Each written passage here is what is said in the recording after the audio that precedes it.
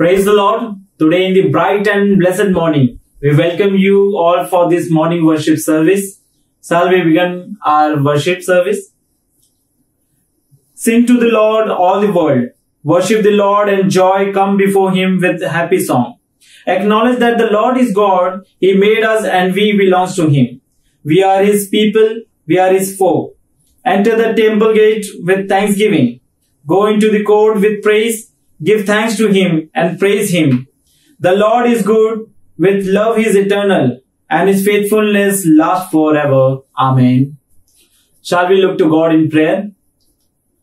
Our merciful and eternal God Almighty, we thank you for the wonderful day that you have given to us with the blessings of yours in our all individual lives as we gather together in your presence through this medium fill us with your holy spirit as your people seated in their own houses may this time of worship would be really make all our people to come together in one chord to worship you and glorify your name and above all receive word and strength.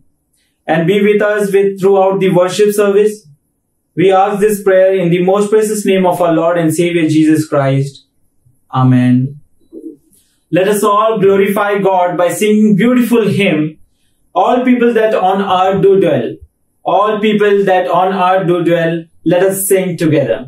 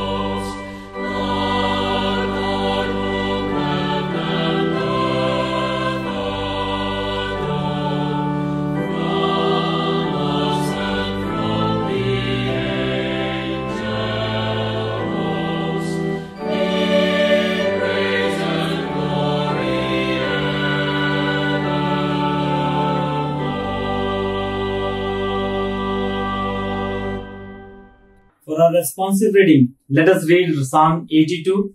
Psalms 82. It is displayed on the screen. God preside in the heavenly council. In the assembly of God, he gives his decision. You must stop judging unjustly. You must no longer be partial to the wicked. Defend the rights of the poor and the orphans. Be fair to the needy and the helpless. Rescue them from the power of evil men. How ignorant you are. How stupid.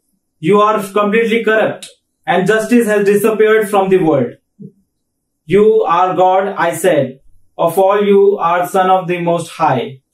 But you will die like men. Your life will end like that of any prince. Come, O God, and rule the world. All the nation are yours. Glory be to the Father, and to the Son, and to the Holy Ghost, as it was in the beginning, is now, and ever shall be, world without end. Amen. Amen.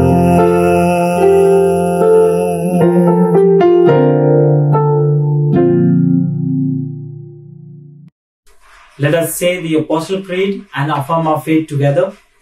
I believe in God the Father Almighty, maker of heaven and earth, and in Jesus Christ, his only Son, our Lord, who was conceived by the Holy Spirit, born of the Virgin Mary, suffered under Pontius Pilate, was crucified, dead, and buried. And the third day he rose again from the dead, and ascended into heaven and seated at the right hand of the God the Father Almighty. From there he shall come to judge the living and the dead. I believe in the Holy Spirit, the Holy Catholic Church, the communion of saints, the forgiveness of sin, the resurrection of the body, and the life everlasting. Amen. At this time, I would like to invite our MYF to come forward and lead us in the time of present worship.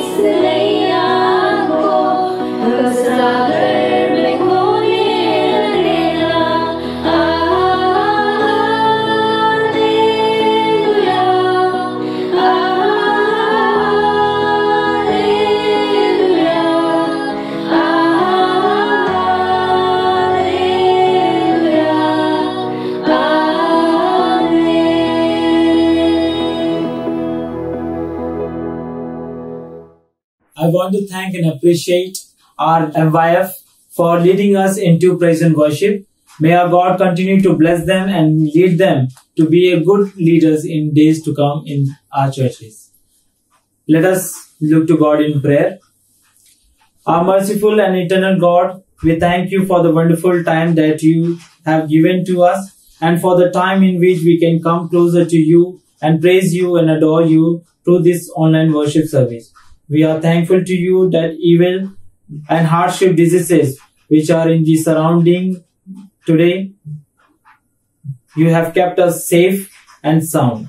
We glorify your name on earth that by your grace and mercy, we are still alive and continue to enjoy our being in this world.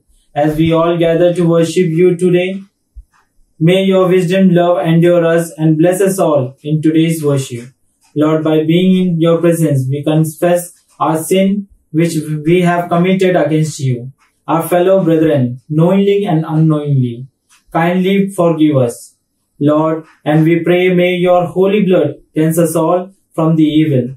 Lord, today we also want to surrender ourselves into your holy hand and keep our petition unto your throne and seek answers for a due course.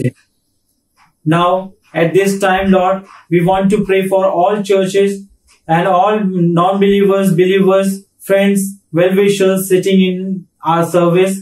We seek your blessings upon each family, individual, that they can grow in your light and receive your mercy and be an instrument in the church and in the surroundings to glorify your name.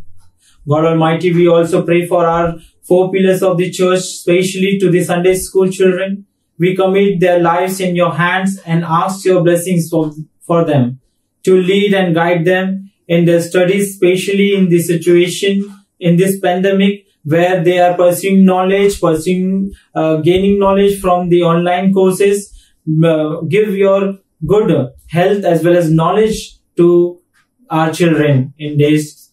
Uh, our loving Father, we also want to commit our youth people into your presence and ask blessings and guidance for each one of them and bless them, Lord, as some of our, of our friends, the, those who are pursuing knowledge, pursuing, uh, uh, gaining knowledge from online services, online coaching classes, and pursuing college online.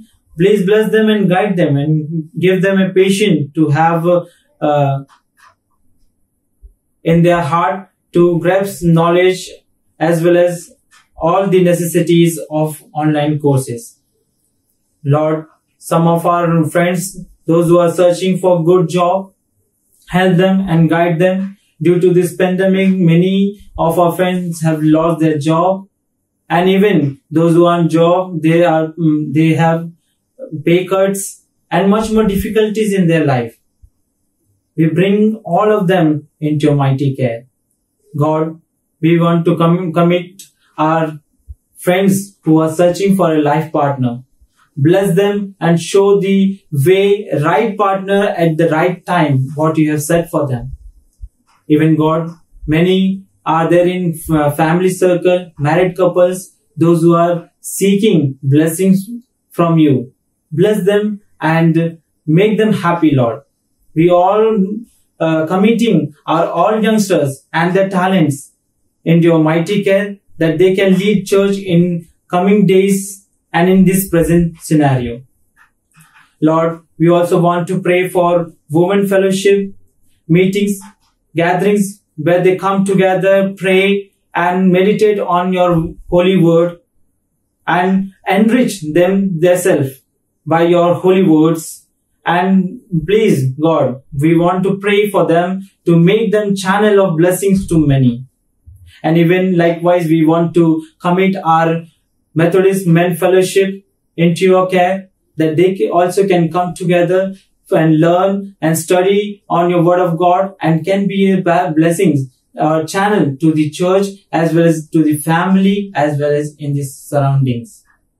Even we put under your care all the committees that they can work efficiently in the church by your guidance, knowledge and help. Even we pray for our church members, those who are not keeping well and going under the medical treatment, Lord. We ask your healing hand may be upon them and they can be healed and get recovered as soon as possible. God Almighty, we also want to pray for our own missionary, Mr. Pradeep Anandan Gauli, who served in Muddan uh, Taluka, Nanded district. We ask your help and guide, protect him, protect him, and continue to bless him and his family, his congregation, and his outreach mission programs, that he can continue to be a blessed channel for many and bring many souls into your kingdom. As well as we pray for all the missionaries, those who are placed in different uh, areas, those who are working with different mission organization. Bless them and protect them from the persecution and the evil in the surroundings. God, at this time, especially we pray for our Methodist circle, to all the bishops, board of ministry, pastors, all DS superintendents, district superintendents, and all who work in your vineyard may flourish and come forward for the help to the needy, oppressed class, and marginalized people in this world. God Almighty, we also want to pray for our nation and around the globe, for all the leaders like President, Prime Minister, CM of, of all status. May grant them your wisdom and light of goodness to lead the nation ahead to a development way. We also ask your blessings and healing hand to grant on the people who all are suffered under the pandemic COVID-19 and from the natural calamities like flood in the state of Bihar, Assam and so on. God, we also especially pray for the recently incident happened in Lebanon. The blast, in blast, many have lost their life, many died, and even many have got injured. God protect them and give comfort to the grieved family. And recent incident which happened in Calicut when aircraft crashed during landing, many got injured. God, we ask and we pray for their families that your love and comfort give the strength to live life in the world. At this time, we also remember our senior pastor, Reverend Tennison, who is going to share from the Holy Word. May your wisdom and knowledge lead him to en- enrich us with the holy manna, which is going to be planted in our hearts. Be fruitful and may this take root in our lives and produce an abundant harvest of good words and good deeds. Even we commit pastor family into your care, bless them and guide them. Lord, we also want to commit all the city's soul in your presence and ask this prayer in the most powerful and wonderful name of our Christ who taught us to pray. Our Father who art in heaven, hallowed be thy name. Thy kingdom come, thy will be done on earth as it is in heaven. Give us this day our daily bread and forgive us our trespasses as we forgive those who trespass against us.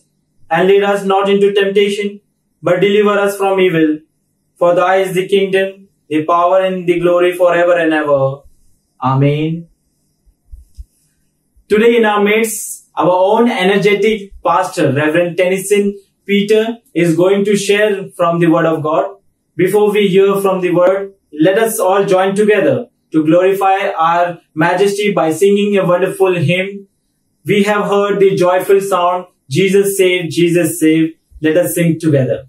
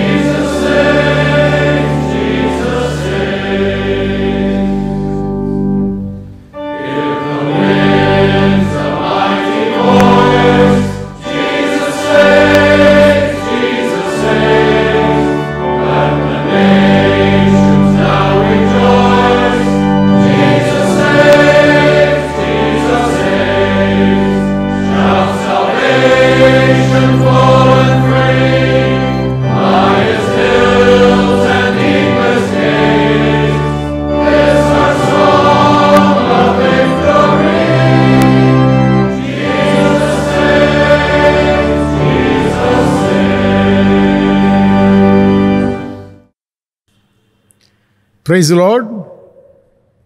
I welcome you all for this morning service. And as we sit for the meditation, shall we look to the Lord in prayer? Heavenly Father, as we sit in your presence to read and meditate the Word of God, open our eyes to see the truth that are there in the Scripture and enable us to learn, enable us to understand, above all, to apply in our lives. We thank you and praise you. Hide me in your presence. Let your words come so fresh to us. In Jesus' name we pray. Amen. As we are still in the dark days of pandemic, churches are not opened, schools and colleges are not opened, factories and industries are not opened, and we are all still in a perplexed mode and thinking when this will change, when this atmosphere will change, how long the Lord is going to allow us to endure these difficult times. So as I was contemplating on these things, there was few things went in my mind and I thought I will share with you. At this adverse situation, in one side we see the corona is widely spread and in the recent days we witnessed heavy rains, flood, the natural catastrophe, and um, so many other damages we see around the world explosion, fire, and people are really going through very tough time. The nations are going through very tough time. And uh, my question is, can God change his mind? Can God change his mind? There is a beautiful verse uh, that is um, found in Numbers chapter 23, 19. God is not a human that he should lie, not a human being that he should change his mind. Does he speak and then not act? Does he promise and not fulfill? So, this is commonly understood that God will not change his mind. Once he pronounces any judgment, it will happen. And so I was trying to contemplate on few instances where a God has changed his mind and where God has you know given grace and I found those verses will be very useful for us to read and meditate and uh, cling along with those people to ask God to change his mind at this time. Okay? And before I go to the theme and the points, I want to try to understand along with you what kind of problems are we facing these days in this pandemic the whole universe is going through the trauma. People are unable to go to their workplace. They start work from home. And as they work from home, they have free time, but they do not have time also. And the companies give them more load and they are not able to really you know operate. And so the people those who work from home they have their own pressure from office pressure at home and they have to balance between. And some of them those who are working from home due to internet um, connection or failure of connection failure of power they go through very tough time. This is one side and the children are online and they occupy a little space. The mother occupies little space. The husband occupies little space, and the electricity is on. The internet is on. The gadgets are on. The communication stops. I do not know what time people eat, what time they uh, people cook. So a lot of you know adjustments have taken place, and it has also you know given a lot of pressure to some of the people, even teachers when I come across some teachers, they say we have to do a lot of work We have to prepare the lesson. We have to prepare PowerPoints. We have to work a lot. And uh, apart from working all, then we have to set our uh, room suitable for the children to watch me, watch my um, teaching and all the screen, everything. It takes quite a lot of time. And so this is another thing. And another sector you see, there are people, those who are ready to work, but the offices and companies and factories are not calling them. And they are sometimes told not to come, don't expect. And people are laid off. And that is happening in one side. And the people, those who are working, they do not get their payment on time. And even if they get the payments, sometimes 50% or 30% cut off, and that is another problem. And the simple people, ordinary people, those who in those who are into daily wages, they run back and forth to get jobs. Sometimes they don't get job.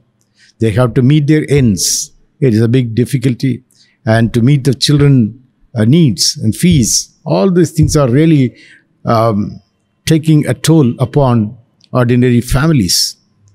Adding to that, if they have patients or uh, sick people at home, that is another big uh, issue.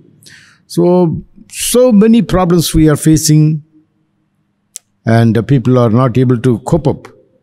They go through mental pressure, pressures from the family, pressures from the office, financial strain. How to handle, how to cope up is a big situation. And people are praying, Lord, will you stop? Will you stop this pandemic? The churches are praying, individuals are praying, all the religious organizations are praying when it is going to end. So when I was thinking all these things, then I thought, okay, why not I just meditate along with you on this topic can God change his mind? So the first uh, change of mind is found um, in the scripture for one person that is King Hezekiah. Is there reference that would really enable us to understand where God has changed his mind? Yes. I want to draw your attention to uh, the life of King Hezekiah. King Hezekiah is one of the uh, wonderful kings, uh, the best kings that I can um, say, because even the Bible it is written that he is appreciated by everyone. So let's try to understand his life. I want you to turn with me to Second Chronicles chapter 29. Second Chronicles chapter 29. I will read few verses that will help us to understand his life. Hezekiah became king when he was 25 years old and he reigned 29 years in Jerusalem. His mother's name was Abijah, the da- daughter of Zechariah, and he did what was right in the sight of God according to all that his father David had done. In the first, first year of his reign, in the first month, he opened the doors of the house of the Lord and repaired them. Then he brought in the priests and the Levites and gathered them in the east square. And he said to them, Hear me, Levites, now sanctify yourselves, sanctify the house of the Lord God of your fathers, and carry out the rubbish from the holy place. So this was his challenging verse, and these are the you know verses that really you know teaches us volume about his uh, his leadership. I will try to sum up his life. Hezekiah hails from Jerusalem. He was the 13th king of Judah. As we have already read, his father was Ahaz, mother Abijah, his son Manasseh, who succeeded. As a man of God, Hezekiah obeyed the Lord in everything he did and listened to his counsel of Isaiah. His wisdom told him God's way was the best. Of all the kings of Judah, Hezekiah was the most obedient to God. He found such a favor in the Lord's eyes that God answered his prayer and added 15 years to his life. Hezekiah means God has strengthened. God has strengthened. That itself is very clear that from the time that he took the leadership or king kingship, he was strengthened by God and he kept himself intact with God, and um, his life was well tuned with the spiritual activities. And we see that um, his father was uh, found to be one of the worst kings in Israel's, leading people astray with idolatry. But Hezekiah zealously began to set things right. First, he re- reopened the temple in Jerusalem. Then, he sanctified the temple vessels that had been desecrated. He instituted the Levitical priesthood, restored proper worship, and brought back Passover as a national holiday. So, very good about him and uh, all what is you know taught in the scripture about him is found to be so uh, interesting and not only that and during his time the assyrian empire was very very strong and uh, they were trying to come and attack the people of judah and um, by the grace of god he was able to conquer them he was able to overthrow them so, so he has made a very good record, but he has done a very great mistake that cannot be forgiven. He, was, he became so proud of everything that he was doing. And uh, one day, when the Babylonian convoys came, they came to visit him, and he was overjoyed to show all the treasury, the golden, and whatever these good things that uh, the temple have, has acquired, showed them.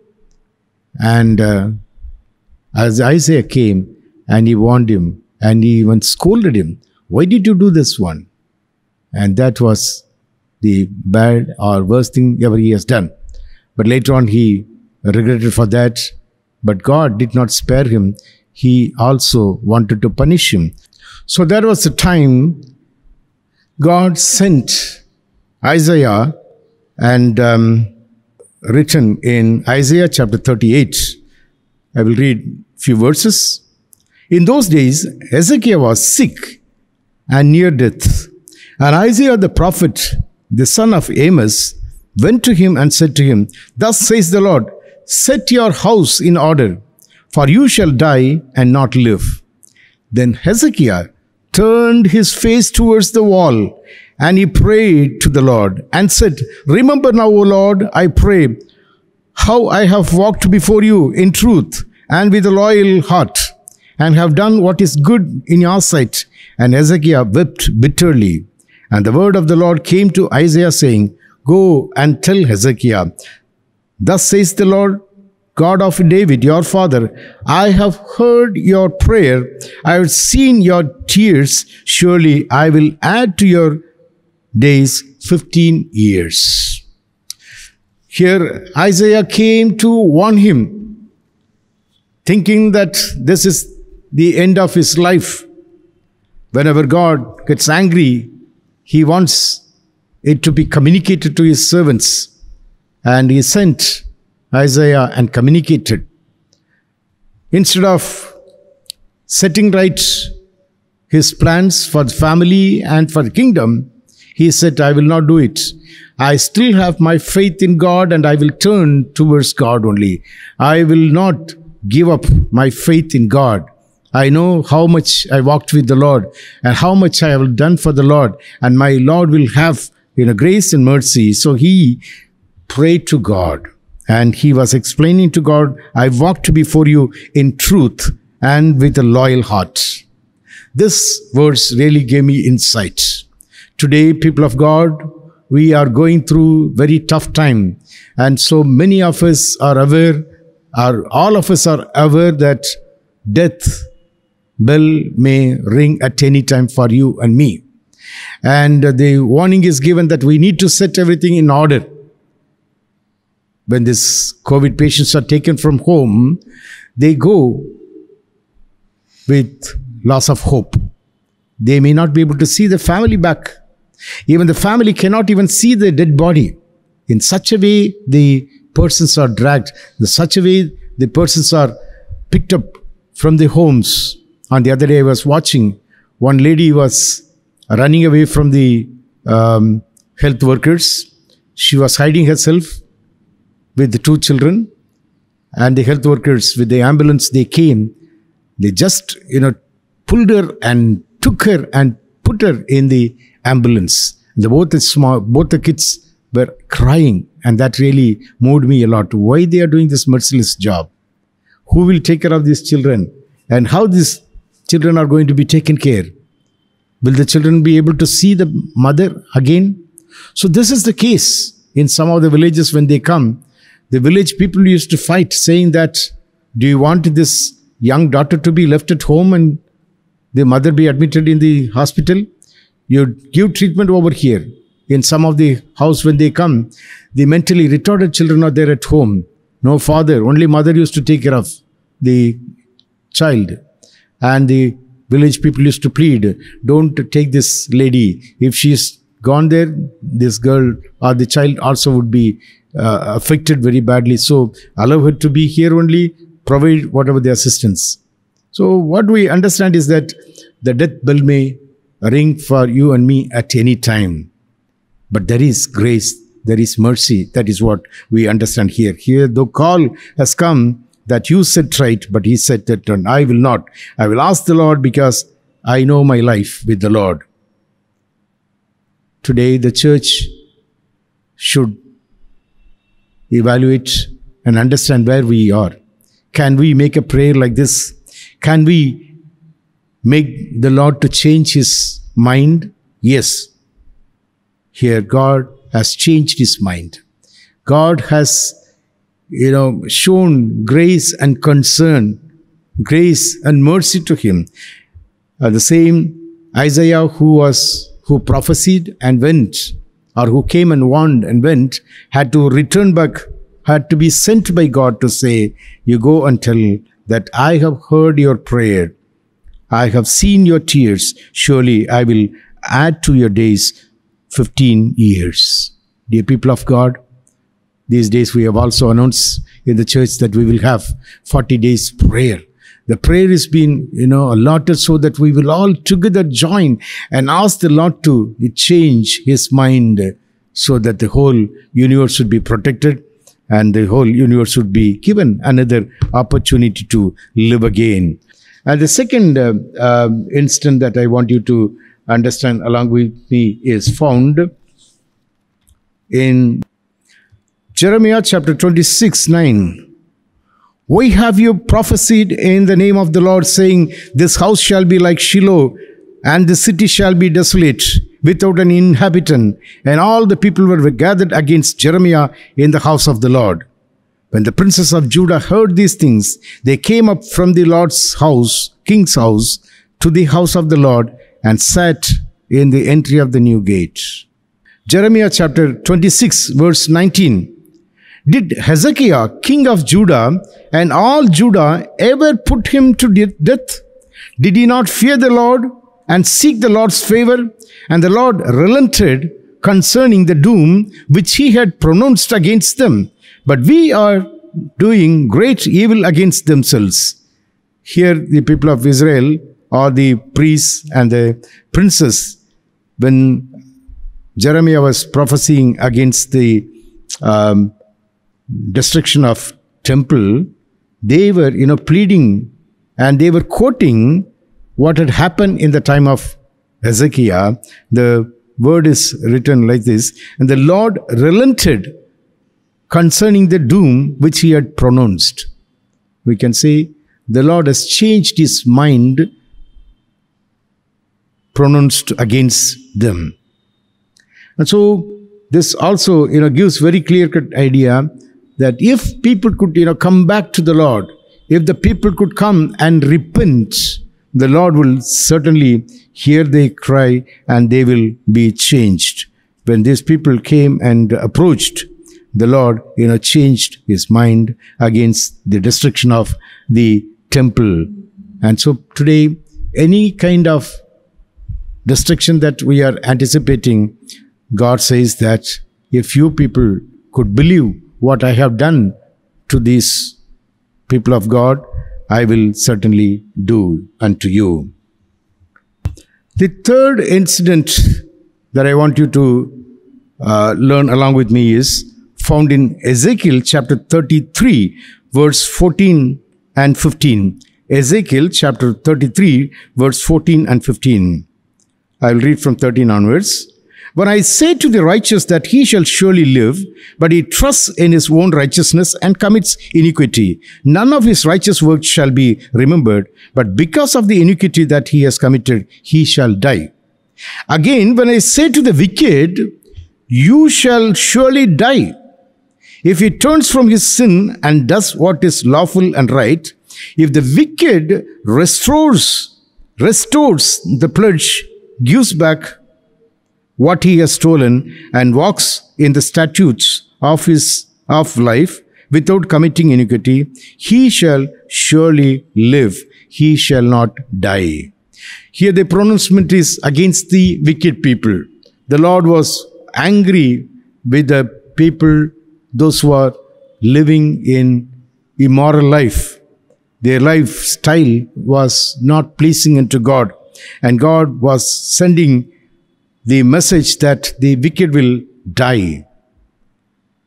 And um, he also has got the soft corner. If they repent, if they turn from their sin, and the Lord is there to forgive them. So God has changed his mind even to save the wicked people. So this is an opportunity God has given for people to come and repent and get his favor. The next change of mind is found in Exodus chapter 32 14. I will read from 11 onwards. Then Moses pleaded with the Lord, his God, and said, Lord, why does your wrath burn hot against your people, whom you have brought out of the land of Egypt with great power and with a great hand? Why should the Egyptians speak and say, He brought them out to harm them, to kill them in the mountains, and to consume them from the face of the earth? Turn from your fierce wrath and relent from this harm to your people. So here he is also saying, relent from this harm to your people. Moses was pleading because this incident is very interesting when Moses was uh, meeting with God in Mount Sinai. People were waiting and waiting. It took many days. And um, they called Aaron. Aaron, I don't, we don't think that Moses is going to come back again. So meantime, they gathered all their um, golden earrings and all their you know gold items. They gave to Aaron, and they made um, golden images, and they um, built an altar. They uh, had burnt offerings, peace offerings, and they started drinking, and they started um, playing. What a lot of things when they were grieving their heart. In fact, they said that these are the gods who have led you from Egypt. Do you think that the Lord would be able to bear this statement? These are the gods who have brought you from Egypt. So God had immediately sent Moses from Mount, go get down, for your people whom you brought out of the land of Egypt have corrupted themselves. They have turned aside quickly. And when he came and saw these people were doing all these nasty things, and he was, you know, pleading to God, God, with a great pain, I have brought these people. And if you are going to kill them in this wilderness, what is going to happen? All will die here. I know that you are a consuming fire. But Lord, I plead you, I plead you. Then his prayer goes like this Remember Abraham, Isaac, and Israel, your servants, to whom you swore by your own self, and said to them, I will multiply your descendants as the stars of heaven, and all this land that I have spoken of I give to your descendants, and they shall inherit forever. Lord, you have given promises through your servants, Abraham, Isaac, and Jacob, and everything will be gone to dust. Then, after hearing Moses' prayer, verse 14 says, So the Lord relented from the harm which he said he would do to his people. You know, this really spoke to me volume. God, you know, relented, or we can say God changed his mind from the harm which he said that he would do to his people. But the last um, reference I want to um, learn along with me is found in Amos chapter 7, verse 1 to 6. Thus the God showed me, behold, he formed locust swarms at the beginning of the crop. Indeed, it was the late carp after the king's movings. And, and so it was, when they had finished eating the grass of the land, I said, the prophet is saying, O Lord, God, forgive, I pray. Oh, that Jacob may stand, for he is small. You know, God sent locusts. Even in India, we have witnessed, in Africa, we witnessed locusts came and they have eaten the crops. It was even said in those days. And so when they came and eaten, Amos was really felt uncomfortable and he pleaded, Lord, you forgive, I pray. Jacob may not be able to stand, they are a very small group. And the verse 3 says, So the Lord relented concerning this, it shall not be, said the Lord. When they prayed, God changed his mind. And then verse 4 Thus the Lord God showed me, behold, the Lord God called for conflict fire, fire, and it consumed the great deep and devoured the territory. The whole area, the farmland was totally, you know, burning. And then again, Amos had to plead. Then I said, O Lord God, cease, I pray, oh, that Jacob may stand, for he is small. So he was pleading, Lord, the clan of Jacob is very small. If you are destroying uh, the farm and if you are destroying uh, all the cultivations, they will die.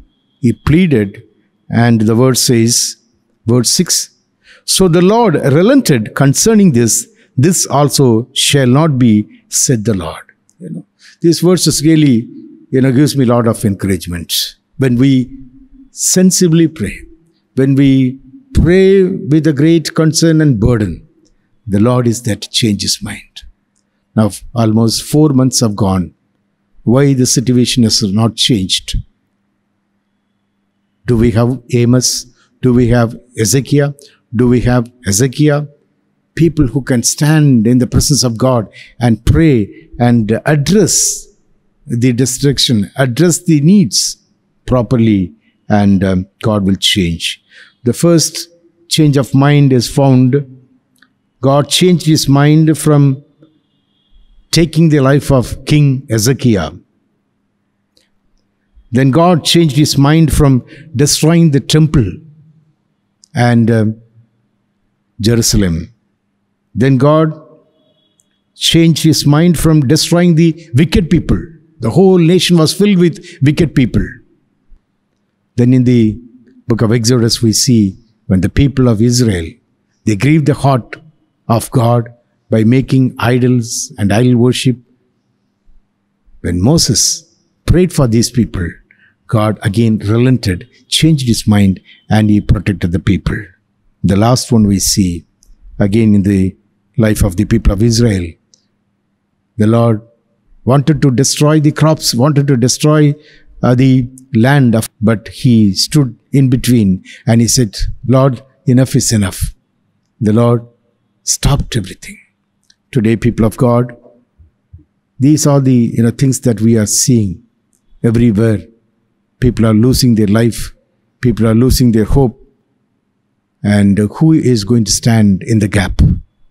The church has been called by God to pray for these people. And if you could, you know, take time to pray, I think we can move mountains. Once a missionary was um, living in a small village, and the whole village was really flourishing.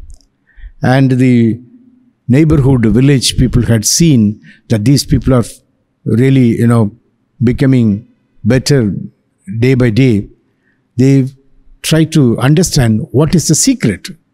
Then they said, the secret is nothing but we are praying. We have a wonderful missionary who has taught us to pray to the living God, Jesus Christ, and that's how we are flourishing. They said, why don't you send this man to our village? Then they guided to this missionary, and uh, this missionary was taken to their village. And he went and you know stayed with them. He did God's ministry, and that village started you know flourishing. Then again, the next village people got it.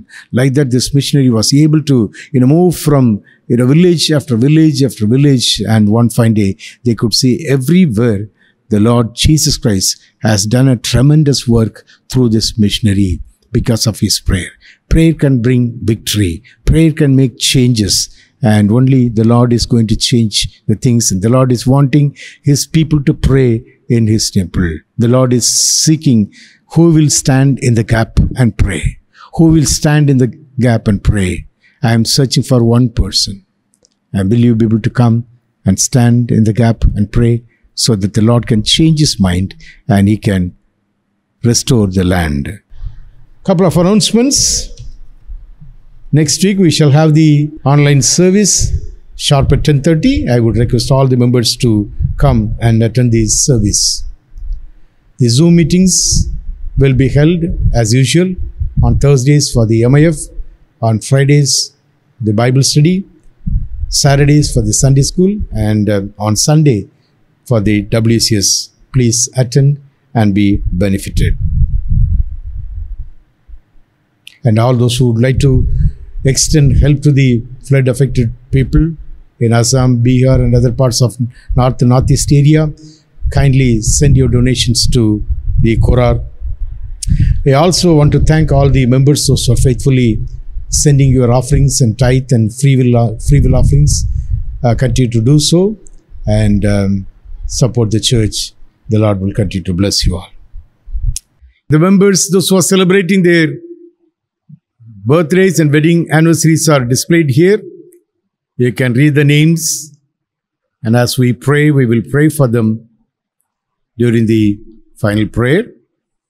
On behalf of the congregation and the pastor, I greet them and wish them may they have a wonderful birthday celebration and wedding anniversaries. In closing, we will all sing the hymn that is displayed. I know whom I have believed. I know whom I have believed. At that time, you can put your offerings uh, in the boxes that is given to you. I know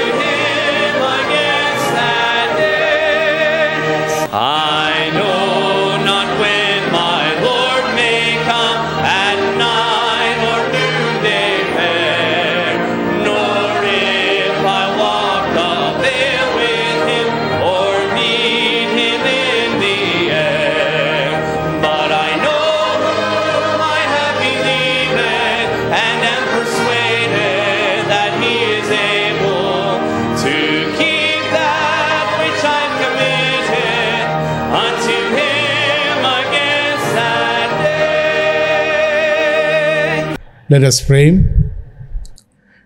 Lord, our Heavenly Father, we want to thank you and praise you for this day.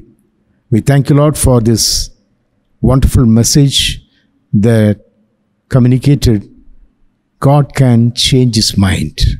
We can change God's mind provided we are found holy to talk to him. Very often we pray, but nothing works. Give us a life that would enable us to stand in your presence and pray, like Amos, like Hezekiah, like um, Ezekiel, like uh, Jeremiah, like Moses. These are the good characters we could read in these passages, and they are they were saints, and they are teaching us lessons that you can also stand in the gap and pray and God can change his mind and bring healing to the nation. We thank you. As your people leave from this place, they will go with this thought and they will continue to pray like these people and bring your grace and mercy to the land. You also pray for the offering that is placed, that would bless it and use it for the extension of your kingdom. As we disperse from this place, let your grace go with us and give us a wonderful week ahead. We pray this prayer, the wonderful name of our Lord and Savior, Jesus Christ. Amen.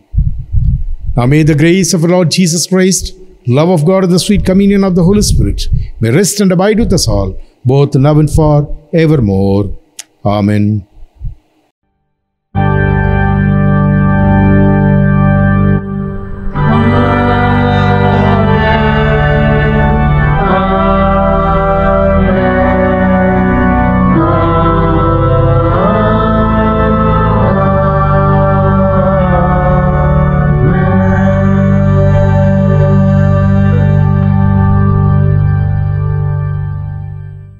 Thank you. God bless you. Have a blessed day and a blessed week ahead.